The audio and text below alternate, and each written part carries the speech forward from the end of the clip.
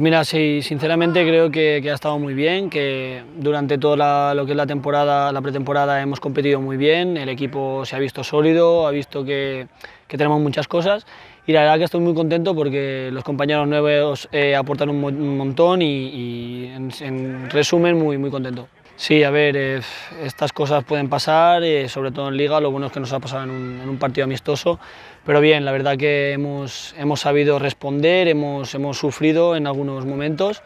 pero nada, eh, al final el resultado después de los penaltis ha sido positivo y me quedo con el trabajo que ha hecho el equipo, que, ha sido, sido muy bueno. Sí, la verdad que sí, que creo que, necesitaba también un poquito de, de confianza en respecto a la cara a portería y nada, hoy se ha dado, eh, pero ya te digo, lo que, lo que hay que pensar es en la liga que viene la semana que viene, en salir a competir allí contra el Jove y nada, si hacemos como hemos hecho durante todo este, este mes, vamos a, lograr un buen, un buen resultado.